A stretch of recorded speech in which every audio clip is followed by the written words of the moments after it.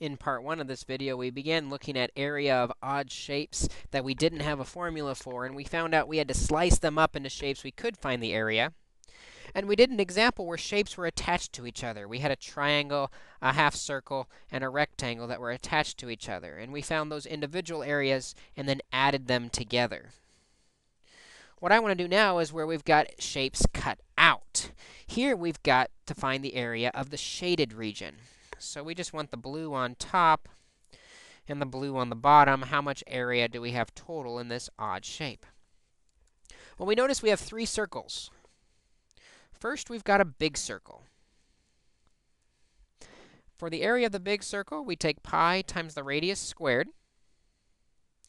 And fortunately, that 2 millimeters, that is the radius. So we'll replace pi with 3.14 the radius with the 2 millimeters squared. And following order of operations, we do the exponent first.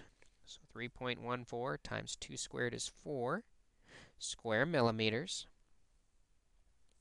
And then multiply the 3.14 times the 4 square millimeters, and we get 12.56 square millimeters.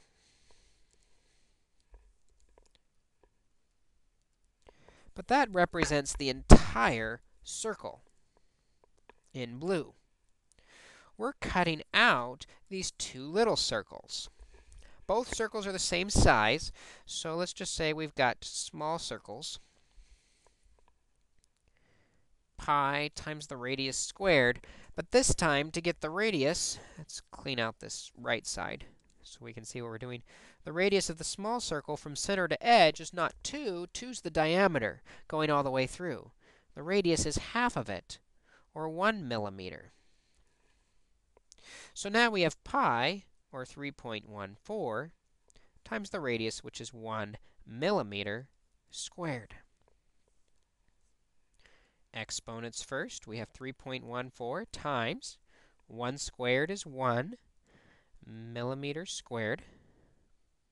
And then finally, multiplying 3.14 times 1, we get 3.14 square millimeters for the area of both of those, or of each of those small circles. Those small circles, however, are not counted in the area. They're cut out of the area, if you will. So to find our total area, we'll take this 12.56 millimeters squared. And we're going to subtract out or cut out the 3.14.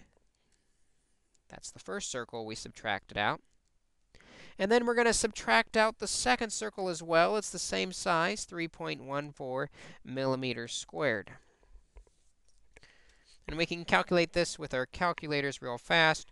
12.56 minus 3.14 minus 3.14, we end up with the leftover area of 6.28 millimeters squared is left in the top and bottom portions of this odd shape.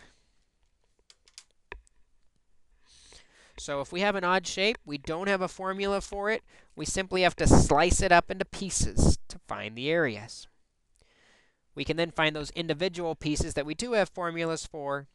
And if they're attached to each other, we'll add the parts that are attached.